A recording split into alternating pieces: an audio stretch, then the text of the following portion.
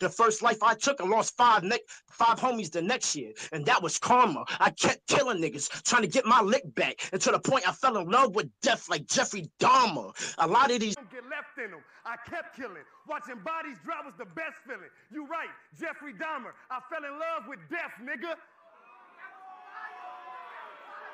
Oh, that Geechee stole my whole setup and my bar um at the end of his round and repeated it um word for word uh the to the point I fell in love with death like Jeffrey Dahmer type shit that was my shit that's Bishop Morel's material Buck 50 to your cheek.